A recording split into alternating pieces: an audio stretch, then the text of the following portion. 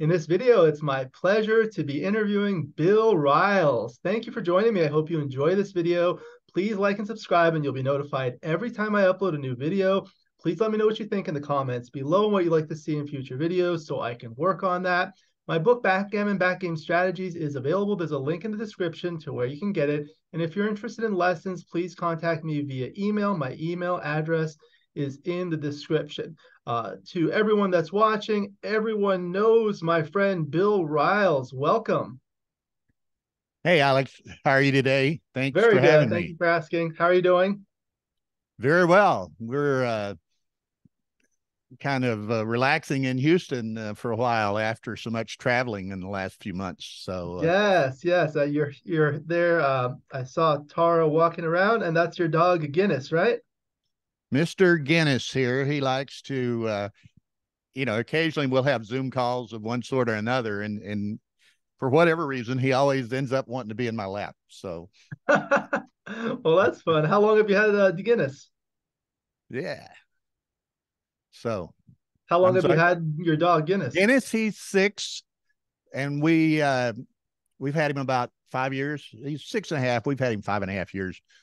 Great. We uh, he was a, how shall we say a pick of the litter of a a woman that uh, had a private breeding uh, operation for dachshunds, and she had kept him because she she thought he was so cute, and he was kind of the run of the litter that he came out of. So he wasn't, uh, unfortunately, he wasn't uh, a breeding specimen, you know. So she kept him as a pet, and then uh, ultimately decided to go another direction with other uh, types of dogs, and and we got him. So right, It's a man's best friend.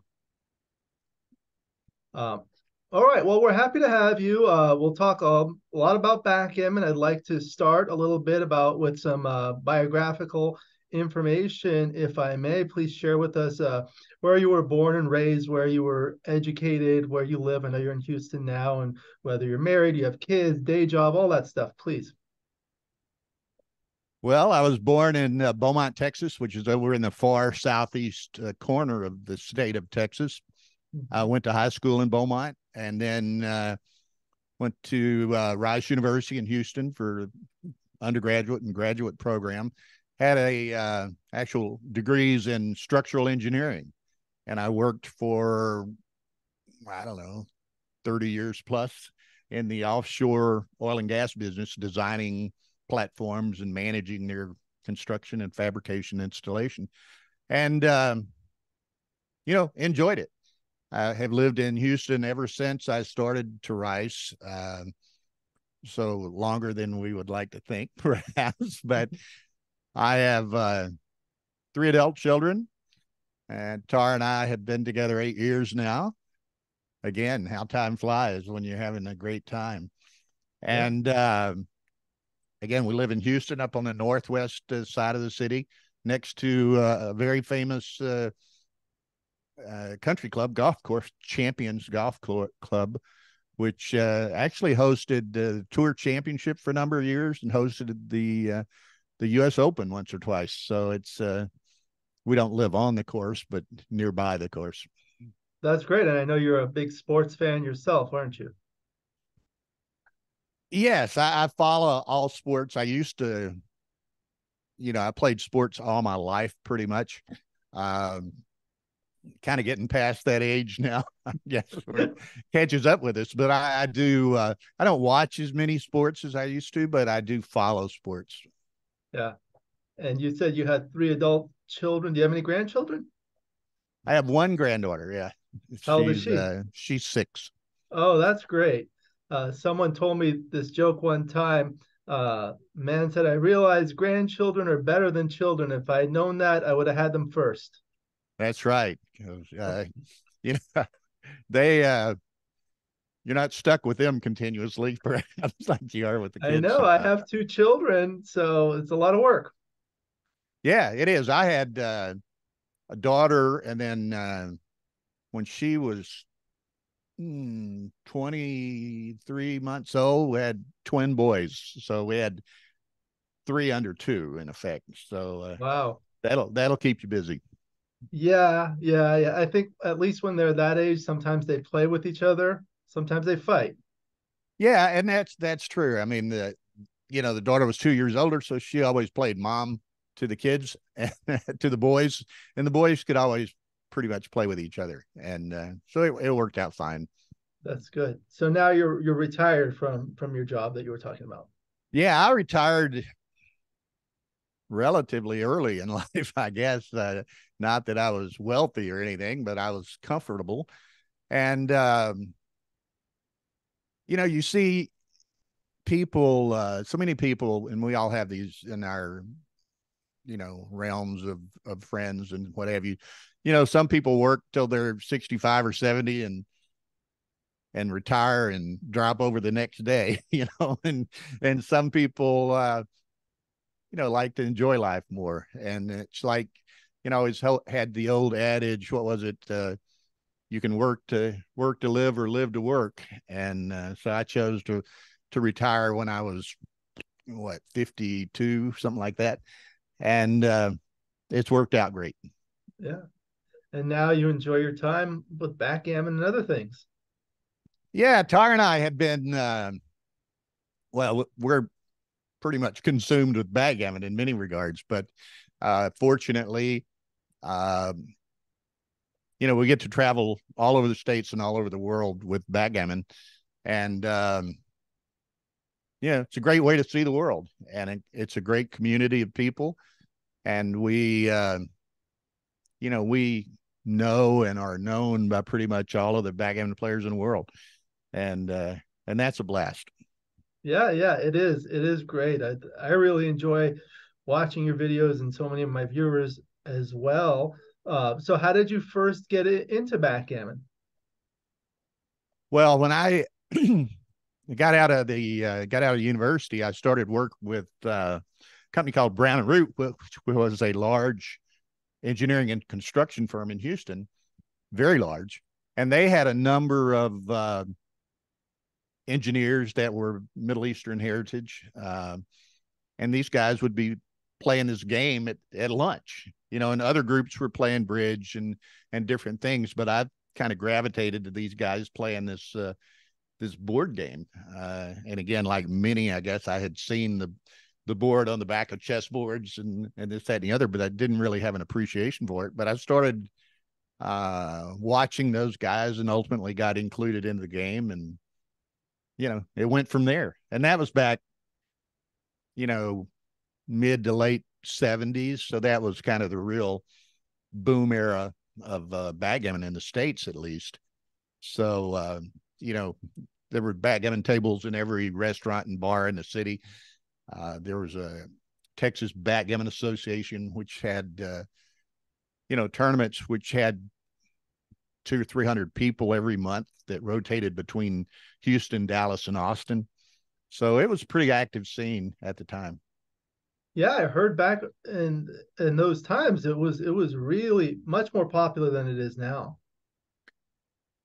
Well, it was, and, and, and in certain regards, it's kind of interesting because uh, you know that was obviously pre-bot days and things of that nature. So um, everyone thought they were as good as anybody else.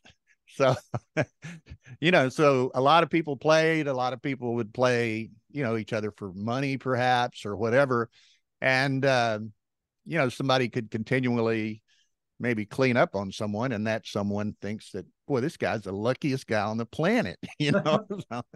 but, uh, you know, then that, uh, you know, the game kind of, uh, regressed a bit, whatever, for 20 years or so, I guess. And now, um, you know, it's beginning to come back somewhat, I think.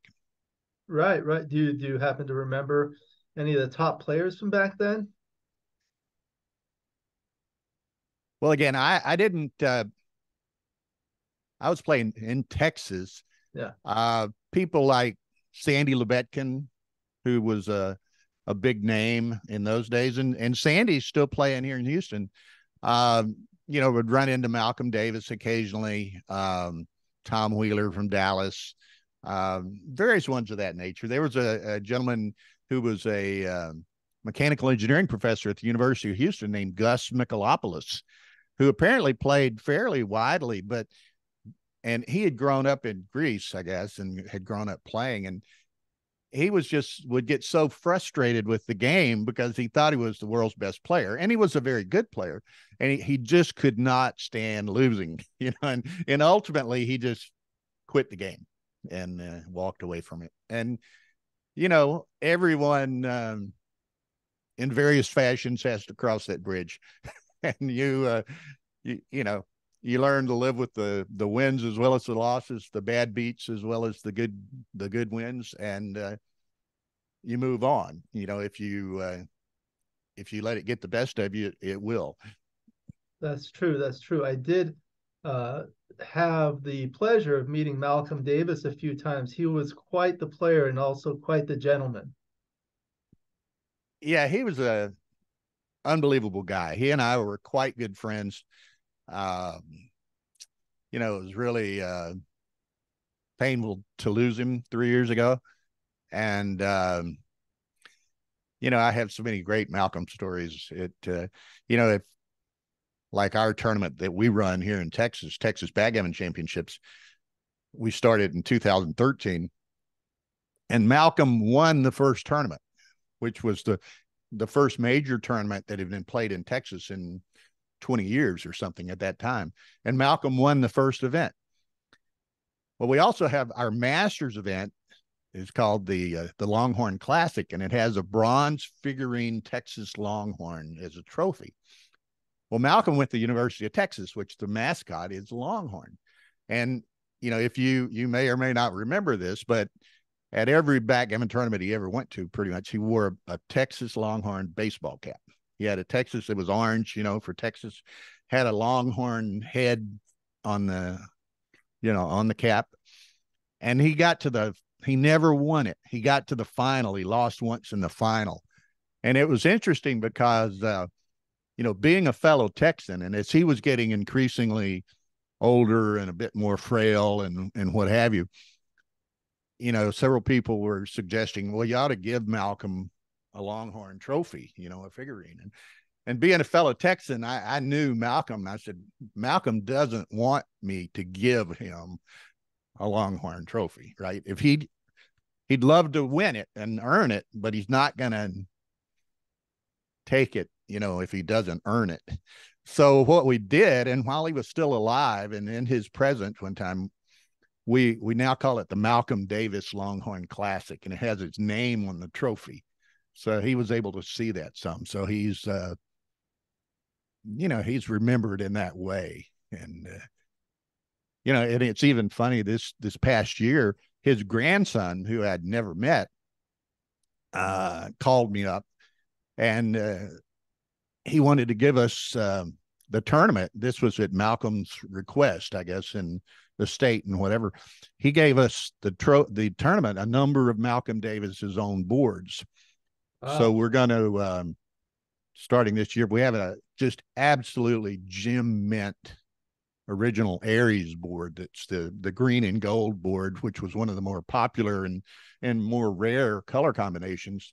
So uh, henceforth, we're going to play the Masters final on Malcolm Davis's own board. So, Very appropriate. So that's uh, that's kind of neat, we think.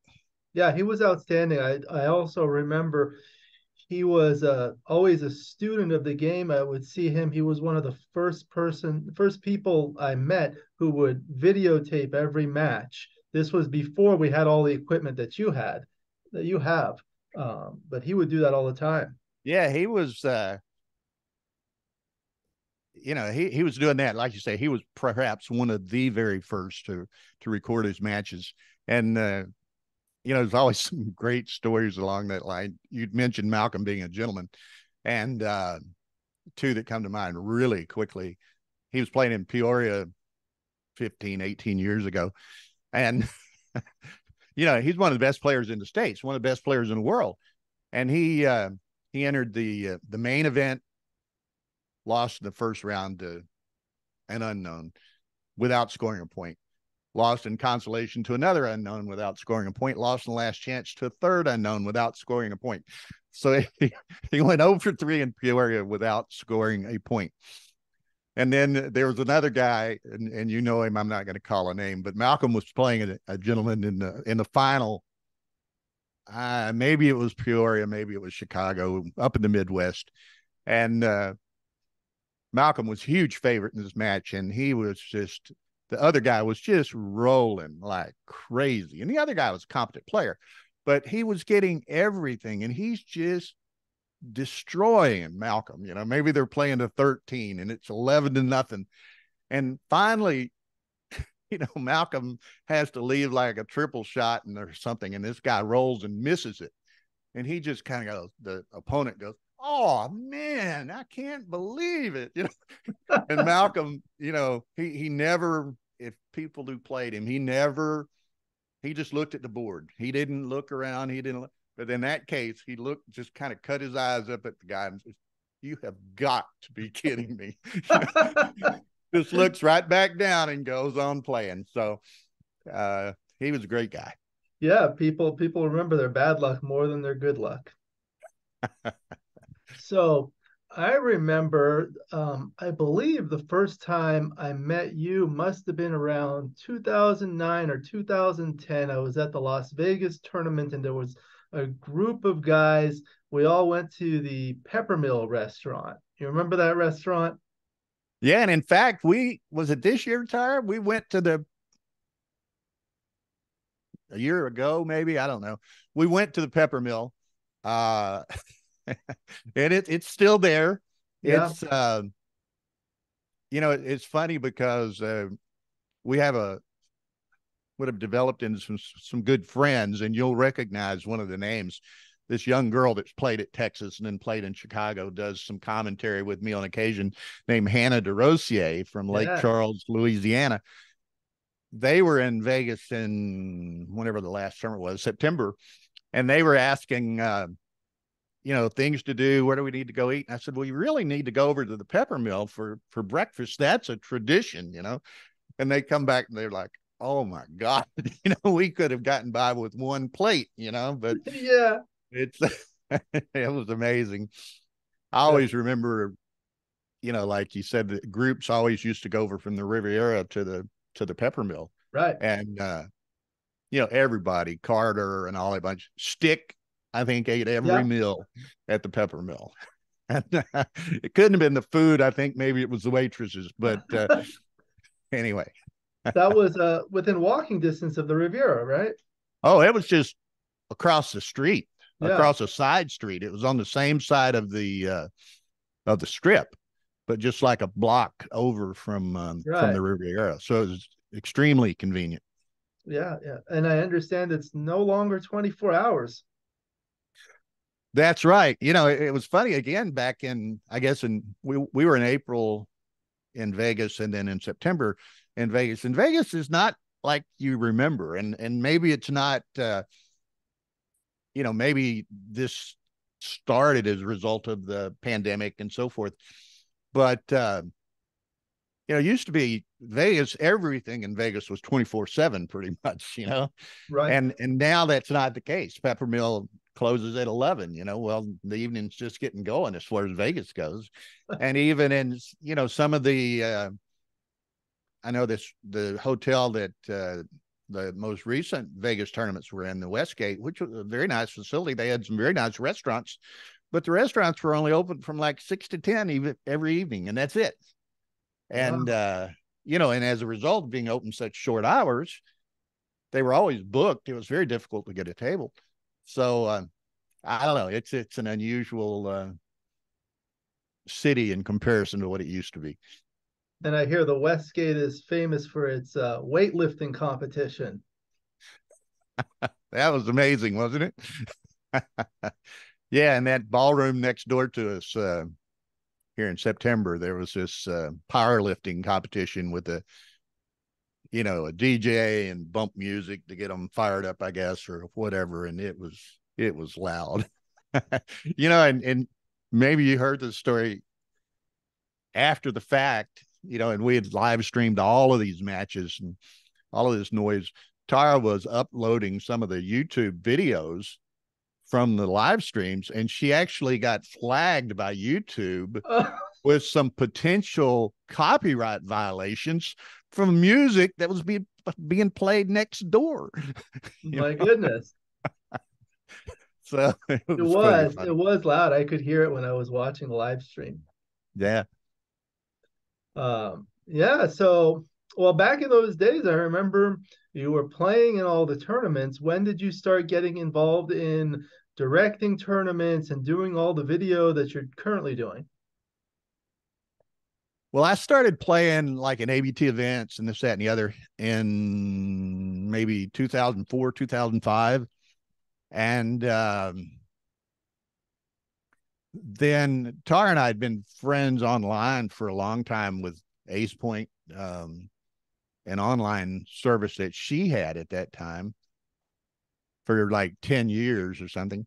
And then we, uh, you know, I guess in 2000, 11, 12 or something like that, we started talking about having a tournament in Texas and hosting it ourselves. And, uh, you know, she was living in San Antonio. I was living in Houston and she, uh, you know, San Antonio is, it's a big city, but it's a very concentrated city with just one central business district, more so. Big convention city, big tourist city, and everything's right downtown you know the Riverwalk, the Alamo, the Pearl District, just everything is right there. Yes, so, I visited um, San Antonio one time, and I remember just that. Oh, it's it's amazing, and uh, so we decided that you know we wanted to make our tournament a destination tournament where there was a lot more to do than than just backgammon, and people could go and um, you know do other things and see other things. And so we decided to go to San Antonio, and and it's it's paid off in spades for us. We've been uh, very well supported. Uh, people love the city, and uh, you know it, it's it's worked out great. And again, we're unique in the in the states, ABT, to uh, to be the only downtown location. So mm-hmm. uh, you know all the other tournaments, for the most part, and and I understand the reasons and this that and the other, but almost all of them are at airport hotels and those are typically you know well removed from the city centers or the main attractions of the cities or what have you. And you know we're we're right downtown in a historic traditional very beautiful uh, renovated hotel. You know all the fine restaurants are out just steps down the street. Uh, it's it's really a neat city. Yeah i i, I know that traditionally uh, a lot of the tournaments have had the the venues at a hotel near the airport because that made it easier for people to get to when they're traveling from out of town. However, nowadays with all the tra- transportation with uh, not just taxis but Uber and Lyft and things like that, people get to everywhere really fast. And I actually did a survey one time asking people about um, tournaments and what they like. And some people, a lot of people actually said they like it to be in a location where there are things to do outside of the hotel.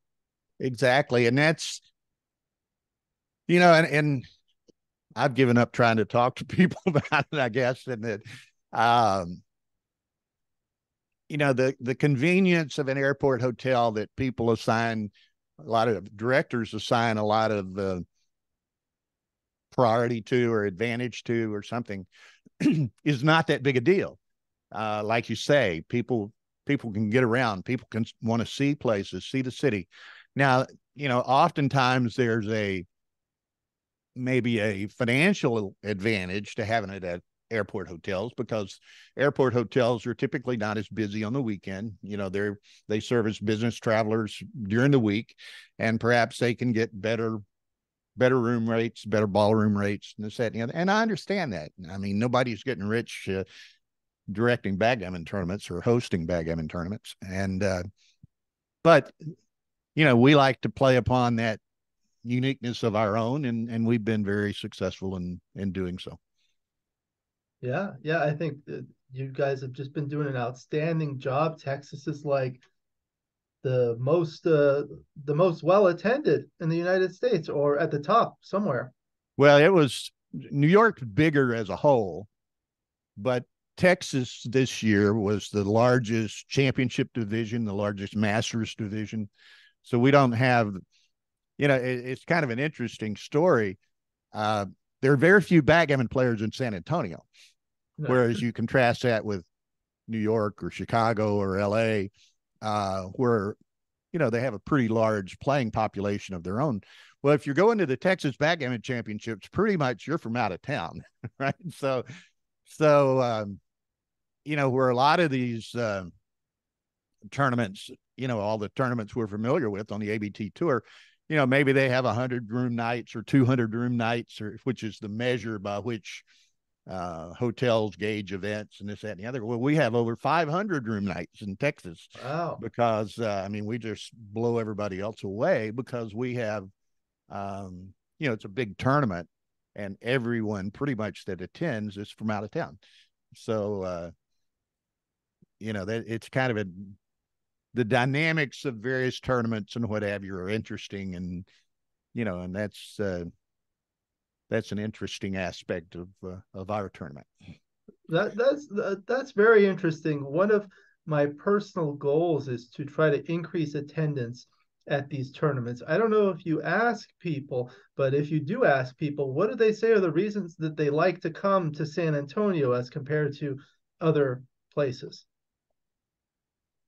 Several factors, I think. One, uh, as we've been talking about, the location, the the downtown location. I know this this past February it was really neat. There was a big uh, the Majestic Theater is right across the street. It's a big um, you know, for shows and musicals and things of that nature. And there was a big show going on during our tournament. And every night you can look out from the terrace next to our playing area and the streets are filled with people and cars and it's just it's a like a a bustling downtown area, you know, and that's so completely different than, you know, an airport hotel where there's nothing anywhere near you, you know, and right. um, so people like that, and it's uh, you know, another thing about it too is the, you know, we're in February in South Texas, the uh, the weather is uh, moderate. Uh, it might be in the 70s. Um, it's not going to be in the 30s you know it's so it's it's really nice weather really nice restaurants.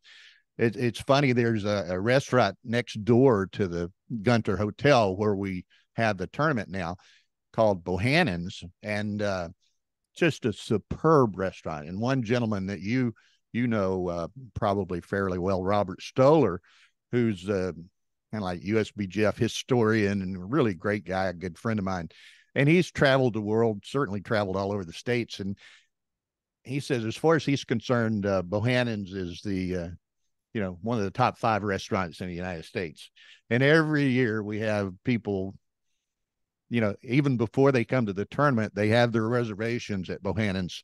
So uh, it's uh, it's kind of an interesting, uh, interesting dynamic. Yeah, that's great. I have I have the website up with the Texas Backgammon Championships. I'll put a link in here. Is there a link from here to the tournament? Well, that is the oh. tournament website. Ah, okay. And, there we go. From there, as you can see at the top, there's uh, links to the brochure to register for the tournament, to make a hotel registration. Yeah. Um, pretty much all inclusive. Uh, you can do it all from the website itself. One and as you can see there, we yeah. uh, we do the UBC USA tournament, which right. is uh, working with Galaxy on their UBC format, and this will be the third year that we've we've done that, and it's kind of interesting in that uh, every match in the UBC is is live streamed. So this year we'll be running five live streams, so we'll have a maximum of 20 players in the UBC but those matches are transcribed live transcribed from the feeds by some uh, some gentlemen in Europe. And so by the time those matches are finished within 10 minutes we have the results of PR results. So we can keep everything updated and and so forth. So it's just amazing that uh, you know, again, five live streams and that uh, picture right there is pretty neat. One of my favorite things to visit is the San uh, San Fernando San Fernando Cathedral, and they have um, like Thursday, Friday, and Saturday nights during the tournament. They have a kind of a laser show on the front facade of the cathedral, which is kind of a historical um, video uh, depiction of San Antonio. And it's really, really a neat thing to see. So, uh, it but is. you know, it's another thing, and one thing that we're going to re- realize, we've realized in the past, we're going to realize it more and more this year. You know, Tara and I do so much uh, international travel and streaming and commentary and so forth. This year we were in Istanbul, we were in Monte Carlo, we were in Dubai, and you know, we meet and see and know so many people. And we're going to have a considerable number of uh, international players coming to San Antonio this year. So I think uh, it'll that'll be neat. Um, you know, and and we love having them, love seeing them. You know, and and it's interesting. I had watched uh, one of your video interviews earlier today just to kind of familiarize myself with with what you do and and what have you. And uh, I, I, think it was with Jason Dortel, and you and he were talking about people on occasion coming up to you and saying, "Oh, I recognize you," or something like that. And we experienced that all the time. You know, it was funny in uh, like in Istanbul this year, the tournament. There's 700 people, and uh,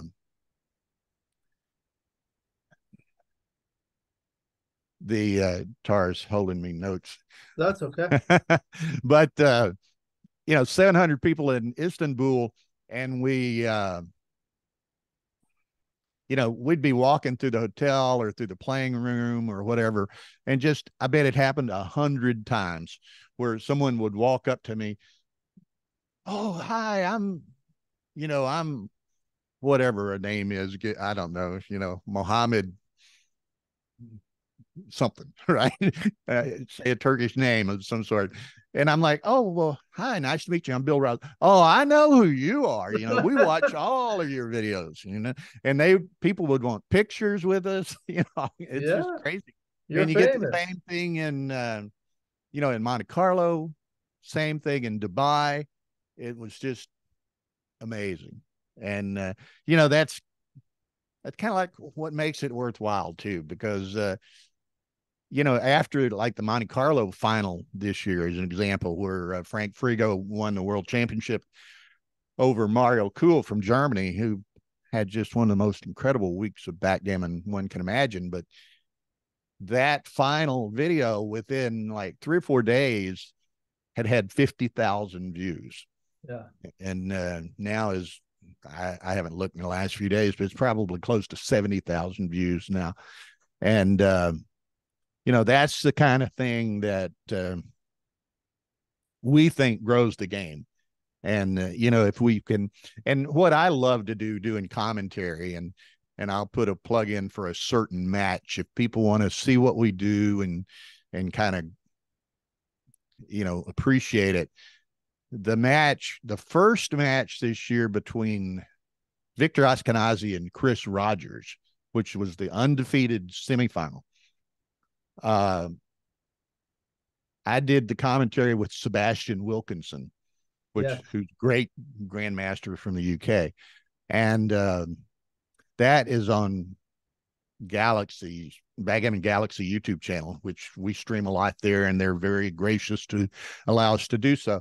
But if you go to the Monte Carlo icons for Backgammon Galaxy YouTube, day seven, stream one is the uh, and the first video on that stream is uh, Victor and Chris Rogers. Great match. It was probably, in my estimation, the best stream we've ever done between the production and the appearance and whatever. The match itself, the commentary with me and Sebastian, we just had a great chemistry and what have you. And that's worth your time to view. I think I watched that one live. it was it was amazing, you know, and it's interesting because, uh, and you watched. I know you watch a lot of our streams and commentaries and so forth. You know what? And you talk about how do you make the game more attractive to a wider audience and this, that, and the other. You know what I try to do, and and a number of people do commentary, and everybody has their own style, and you know they're they're good in various respects.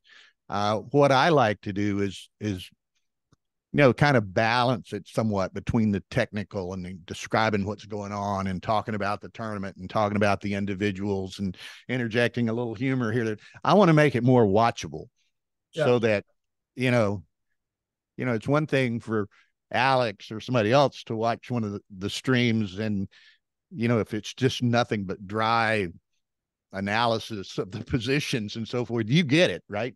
But the vast majority of the people who might want to, you know, check out a little bit of this, they're not going to get it. It's just going to blow right by them. So we, um, you know, I try to balance it and make it more watchable. And, um, you know, we've had a lot of success at it. And we, you know, it's interesting.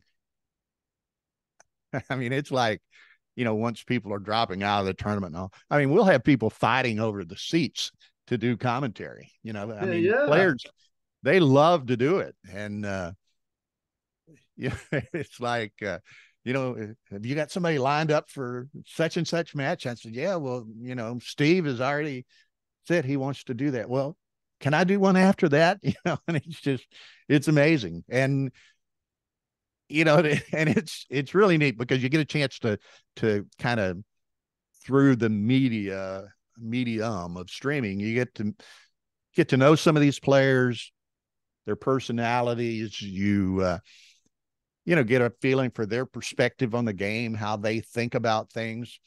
Um, you know, some of them are much better than others at it. You know, but uh, you know, it's a lot of fun, and people enjoy doing it, and uh, I think it's a great way to, uh, you know, grow the game, uh, introduce uh,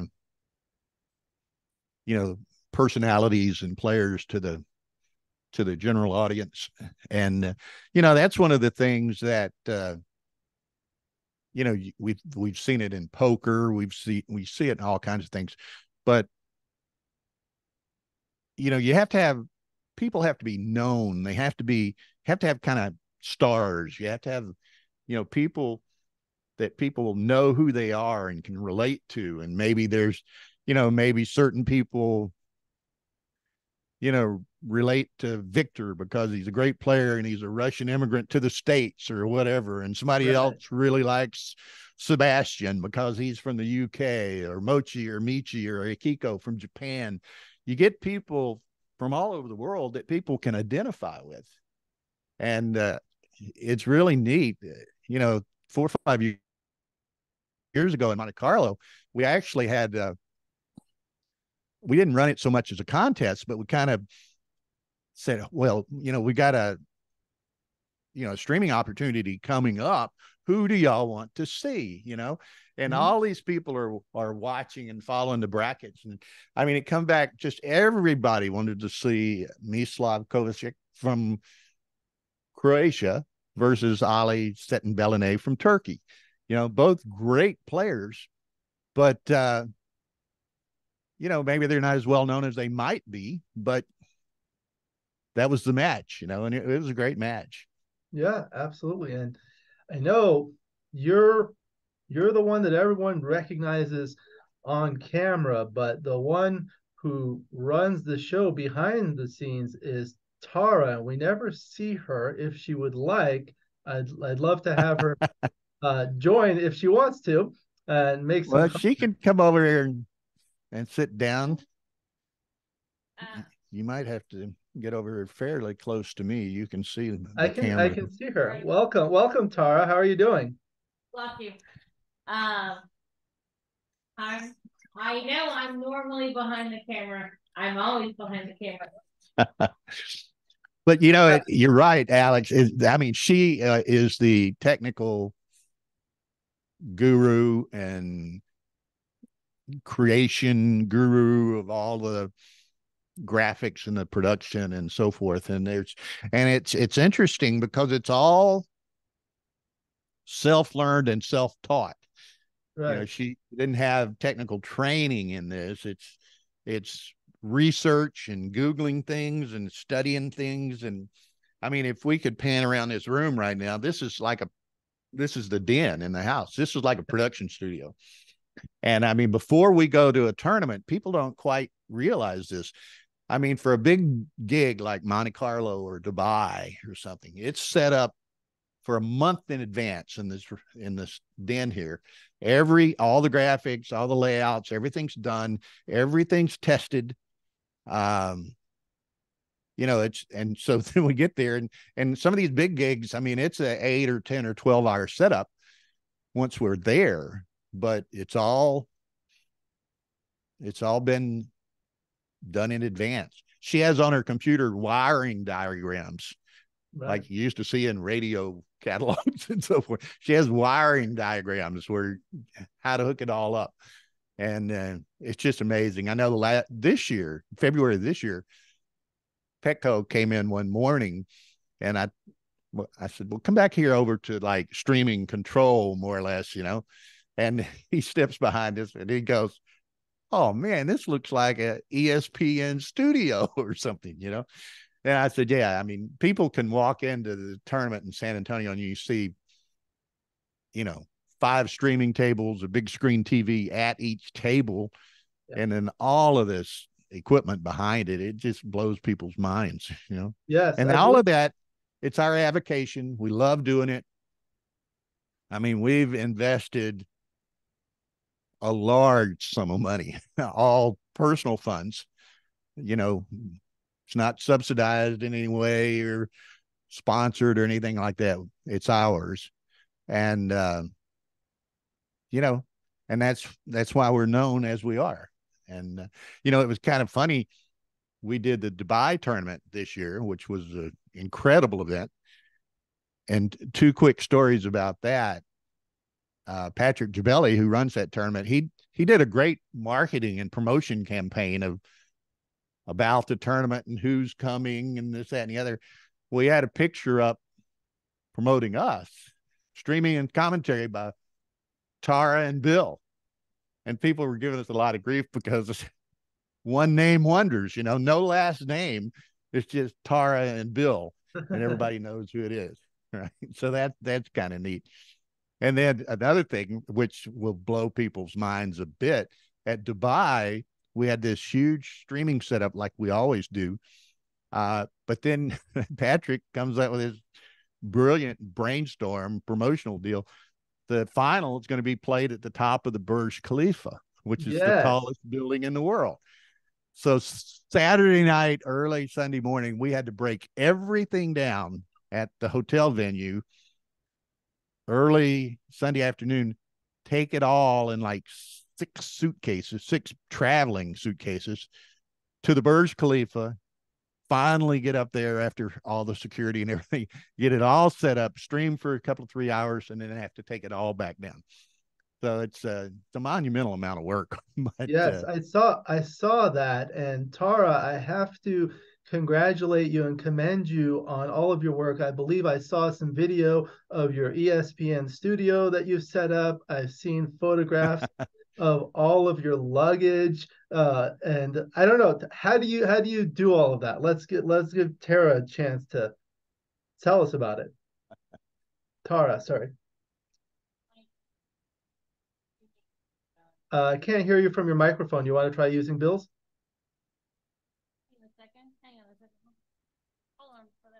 Okay. She'll come back, but it's she thinks it's, she turned turned it off. Turned that mic off while Okay. There we go. That's better. Okay, yeah, we can hear you. Thank Sorry you for joining that. us. Um well basically um I started working with Patty Rubin, who yes. passed away, who is associated originally associated with the uh, Backgammon World Championship in Monte Carlo.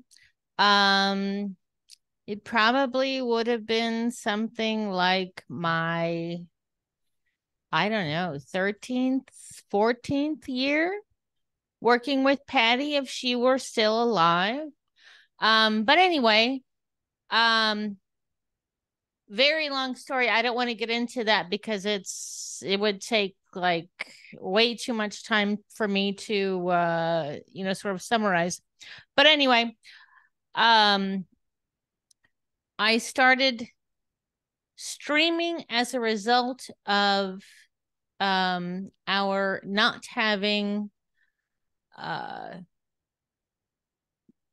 Rhinell Nunez uh, available to stream our own Texas tournament. She So- streamed it the first year or two. Right. You were And doing that. I didn't know that. Yes, she was. So um Justin Nunez's lovely wife, super smart, super creative, super brilliant. And um there wasn't anybody else. I mean, nobody was streaming anything. Nobody knew how to do anything. And um, it's not like you could just say, well, let's get so and so, you know. Um, like for example, at that time, Michelle Steinberg was brilliant doing transcription. Um, that was when uh Bill Riles was amazing coming up with the uh, dual dual format, which was Yeah. sort of the precursor of the UBC. Right. I remember that. And uh you know, there's no one out there. Somebody has to stream these things. And there wasn't anybody. No one you know, there were no other options. And so I said to myself, well, I have to learn. And so it was a lot of failure. Um a whole lot of failure. And uh, you know, one of the biggest failures was definitely at the World Championship. Um it's it's really good that no one reminds me of that. But um, so anyway, after that, things definitely went on. You know, you pretty much hit bottom and you keep improving. So thank goodness that took place. Um, so anyway, uh, Well, what I tell years people is, later, Yeah. this is where we are. Yeah. Don't don't call it a failure. Call it a learning opportunity. Oh no, it was it was definitely a failure. It was an embarrassment. It was horrid. Um, a lot of this actually, a lot of the improvement does indeed stem from um doing uh the USBGF's primetime backgammon magazine. Um, the graphics and the learning curve are very much parallel tremendous amount of things have uh things in common so um you know it's basically streaming to me is uh the let's say video form of the magazine and so it's it's all the same Right. Well, I have to extend my appreciation and gratitude for all of your hard work. Really enjoy all of it and definitely keep up the great work. thank you very much My pleasure. Well, you know, Uh, it's interesting too, Alex, and I alluded to earlier that uh, you know, she's studied, researched, experimented, executed these streams for like 10 years to get to where we are today. And uh it's just amazing, you know, what she can do. And if people, you know, when they're at tournaments and they see our our setup, it just blows their minds, you know. And some people uh, want to, uh, know, it's funny. Uh, you know, others do streaming, and I applaud them for all the streaming they do. It's a lot of work, but they, uh, you know, they don't have the equipment we have, and that makes it very difficult to do so. And uh, but it, it's kind of uh, funny at times. You know, we'll have people coming back and taking pictures of all our, our equipment and this, that, and the other, and you know, I guess they go home and and try to replicate it. But it, you know, it's it's ten years of study and experience and experimentation that have gotten us to where we're at.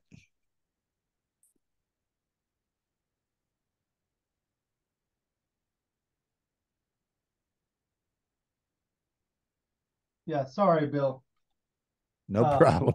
I uh, we're just closing up shop here in the office, but I'm I'm listening. I pulled up your um, YouTube channel here, um, and here it has a lot of it has been live, and this is really great. I really enjoy watching these, and I see you have them categorized. For example, the Las Vegas Open several days. This is the Oasis back uh, in Dubai, which was outstanding. Chicago going down the U.S. Open that was in Las Vegas, Atlanta, all sorts of things, and a lot of the uh, the ones from Monte Carlo were a lot of them were on the Backgammon Galaxy.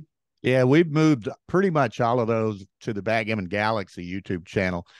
We uh, typically we have a great relationship with them. Typically, we'll stream the stream number one, which is the commentated stream on Backgammon Galaxy, and the remainder of them on uh, uh, Ace Point YouTube channel. But we've moved all of the World Championship content over to Backgammon Galaxy since it's kind of their event anyway. Right. And you also, in addition to the streaming and commentating, you run tournaments uh, locally in Houston and on your Ace Point site. Is that correct? That's right. We have a Houston Backgammon Club. We have a monthly tournament uh, on a Saturday mid month that that uh, a live tournament that we run, and then we have the uh, Ace Point Backgammon Weekend Jackpots online, which uh, typically every weekend that we're in town, and uh, that uh, we have one of them's a hundred dollar jackpot, and uh, it's one of the strongest fields typically that you will ever see. this uh, this week we had uh, what Victor, John O'Hagan, Gaz Owen, Chris Rogers, Stefan Nunyan, Sean Garber, Boris Dektiar. Oftentimes we'll have Chris Trencher and Michael Niagu, uh, just on and on. It's uh, it's amazing. Yeah, I see. This is So- this is the site for that, right? Yeah, if you scroll down a little bit there, where you see Victor's name on the right on that. Now you Oh, there, right here? there, you can go to that red line to the left. Click on that. This one. Yeah, and I think that'll you can. Yeah, there's the draw sheet of this weekend's tournament. Yeah. Tournament. So uh just uh or that was one of the free rolls in it, but nonetheless, um. And you played. Look at that. Yeah, I played much to my uh, chagrin. Jump in, jump in with the big fish sometimes, but uh, it's a lot of fun. The guys, uh, everyone enjoys it. You know, one thing, and and we've talked about growing the game uh, in various ways, and and one of the biggest things is streaming. I mean, we've had that experience with San Antonio from our very first tournament in 2013, and Rynell was doing that one, but we've always heavily focused on streaming. And I think that got us so much early exposure and recognition and so forth that it's paid off in spades over the years. And that's, you know, there's other people that recognize uh, that Rory is has been a big proponent of streaming, and we always do his jobs over the last three or four years. Atlanta just exploded in growth because of the the, the I mean Jeff and were doing a good job, but the the exposure from the streaming I think paid off well as uh, and then uh, Patty did in uh, in the Monte Carlo, and then of course when she passed and Marc Olsen and Galaxy took it over like you know and we like to think he said you know the first call i made well probably wasn't the first call he made but one of the first calls he made he called tara and, and myself and said i want y'all to do the streaming. Yeah. and uh, so we've done that the two years that galaxy's had it patrick jabelli was the same thing in dubai this year um, i want y'all to do the streaming you know just so it, it's been fun and you know, I know on your list there you were asking some of our favorite tournaments and things of that nature. Yeah, and, uh, please tell us. and we, uh, you know, we've been to every tournament in the states, and you know, every tournament has its own personality, and the director's personality influences the tournament somewhat, and and they're all fine. We we enjoy them.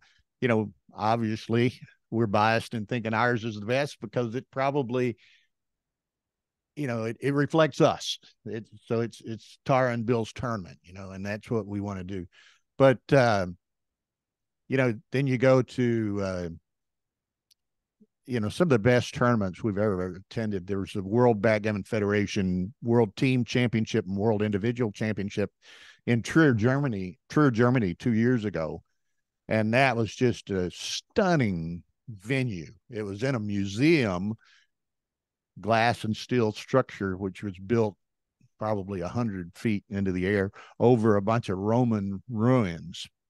And we actually played on the ground floor of this, which was like 30 feet below street level, with the walls of Roman ruins all around us, playing right there amongst them. It was just stunning. And then, of course, you know, Monte Carlo. That's got to be on everyone's bucket list. It's just an amazing right. event. Dubai this year was amazing. Cyprus, we've been to Arda's tournaments um, three or four times, and we're not going to make it this year, but? And and next year, and we we certainly hope to attend is uh, next year's Swedish Open in Stockholm, wow. which is in early July, I think that is uh, the 2024 World Backgammon Federation World Team Championship and World Individual Championship is held in conjunction with the Swedish Open, and that's just going to be phenomenal. And uh, Jorgen Granstedt is the um, I don't know organizer, head guy, whatever. Arda directs it. Uh, it's just going to be an unbelievable event, and it's at an an old hotel on the waterfront, like out away from the city, but it's been completely refurbished. It's just beautiful to look at the pictures and everything. It's on the waterfront. It's kind of like a something you'd see on uh, I don't know, Cape Cod or Nantucket or somewhere up in the, you know, one of these old, almost colonial style looking hotels, you know, on the waterfront, and it we're just terribly excited about that. So, uh, you know, it uh, we love what we do, and and I mentioned earlier, and one thing I, I I wanted to note, we talked about Texas. It's coming up in February. Um, great staff. We've got a lot of international players coming, and we have a, a great international staff too. We have uh, Jesper Carlson has been working with us for, I think this will be his fifth or sixth year from Sweden, who's one of the best director guys in the world. Jeff Proctor is on the staff. This year, we're adding, uh, hopefully, uh, Jason Granstedt is going to be an assistant to Jesper. That's uh, Jorgen's son. And yeah. we're also uh, bringing in and and who knows what the geopolitical situation is is going to be like. But we're supposed to have uh, Aviv Ziva from Israel, who's done the transcription work in uh, Monte Carlo for the last couple of years, is supposed to be in San Antonio as well. So uh, it's going to be it, that's going to be a fun tournament. We're looking yeah. Forward. One of these days when uh, my kids get older, don't have time. I'm gonna well, you got one that's two and a half. I don't know if, if I'll is. still be around when you're ready to travel, Alex. But it is. She's uh, yeah, she's she's uh, she has a lot of energy. Um, you know how it is. I know how it is. now, uh, before we run out of time, I also wanted to talk about um the Ace Point Backgammon shop because not only do you do all the streaming and run the tournaments, but you have your own backgammon shop, like an online store. And I've gotten some things from you uh, uh in the past, and it's just like outstanding quality and outstanding uh, service. How did you get into well, that? well, I don't know. How do we get into that? We, uh, again, that's another creation of Tara's. I mean, she's a, I don't know, internet guru kind of uh, thing. But she got this really great e-commerce system on the uh, the AP shop, and uh, we sell an incredible number of baffle boxes, scoreboards, precision dice. Uh, people just and precision dice are difficult to get right now. Sell a lot of clocks, but I mean, we've probably over the last two or three years, we've sold several hundred baffle boxes, several hundred scoreboards, and thousands of pairs of precision dice. So uh, these are my favorite scoreboards. I'll tell you, I have one of these, and I really like them because they're high quality, they're durable, they're compact, and they get the job done. Well, you can see some of them where the like this one here, where the second one is kind of grayed out in certain regards. That's sold out. I mean, a lot of these yeah. things we just cannot keep them. You know. Yeah. And we were Tara and I were laughing about that earlier today, and that uh,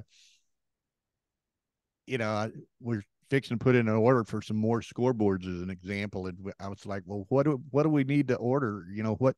And we were going through the you know inventory and what have you and she she laughs though. She says it doesn't matter to a lot of these people. If we don't have what they want they'll buy something else. You know so just they'll buy whatever we might have. So uh, that's been a lot of fun. And it, it's a very uh,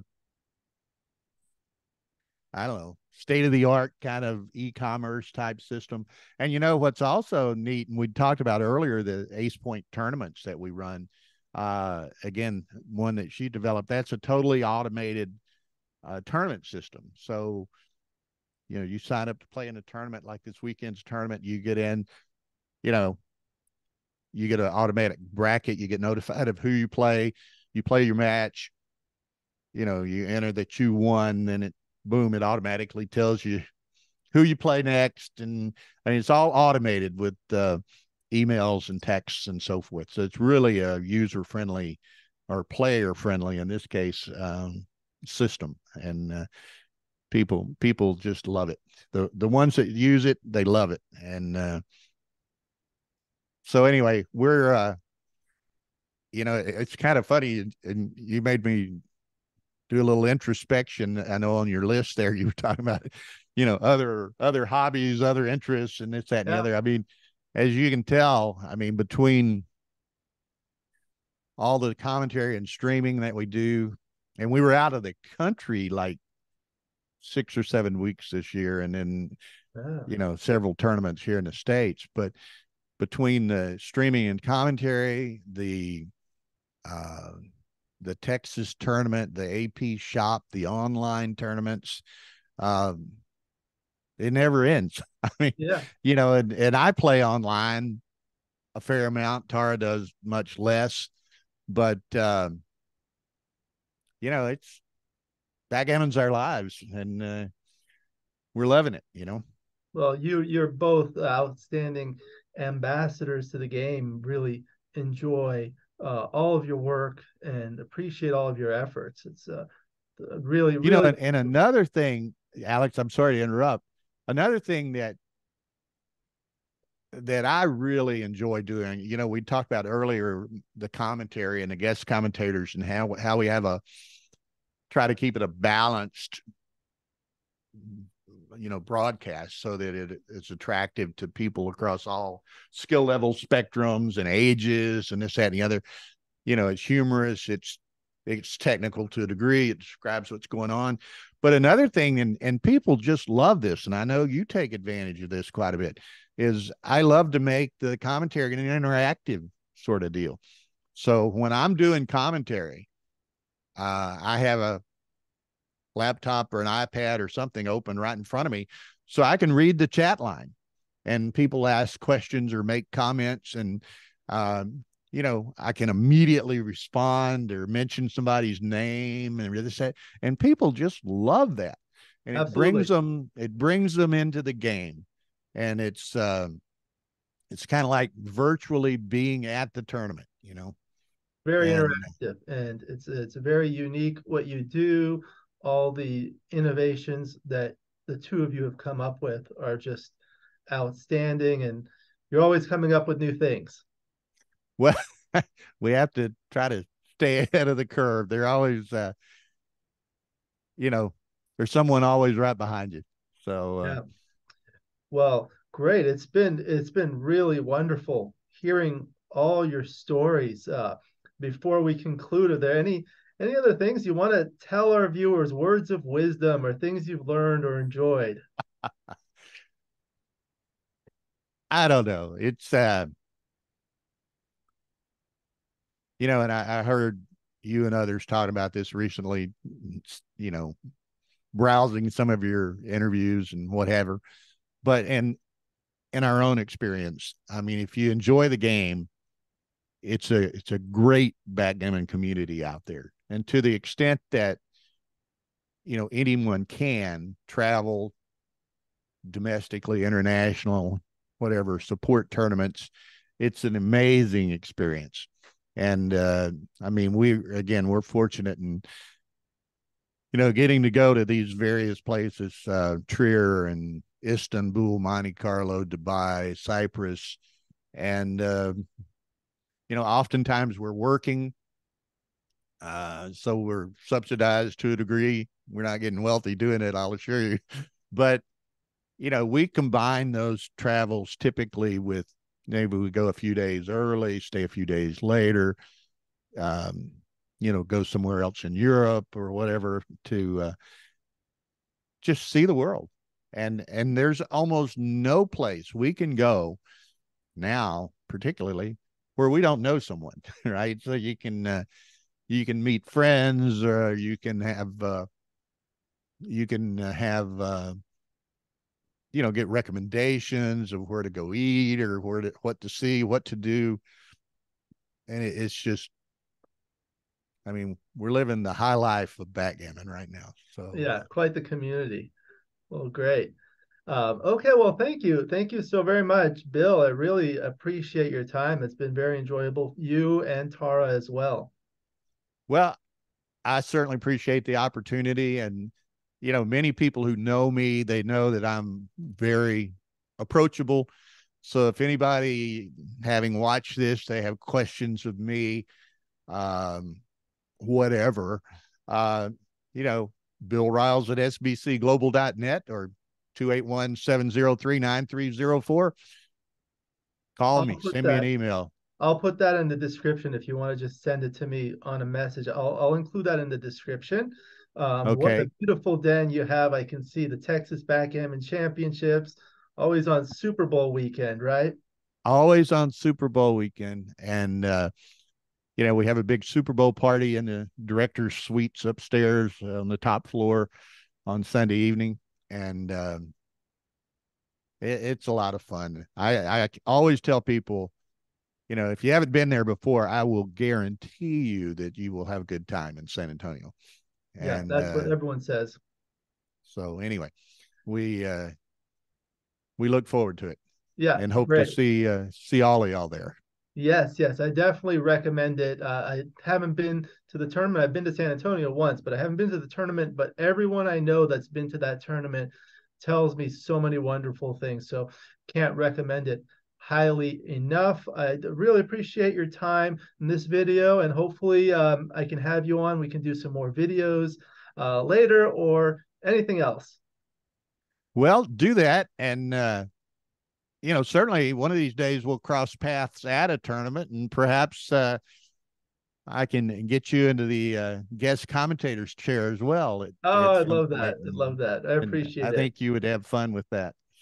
Well, wonderful. Thank you. Thank you again so much. I want to thank the viewers for watching. Uh, I hope you enjoyed this video. It was certainly enjoyable for me. Please like and subscribe, and you'll be notified every time I upload a new video.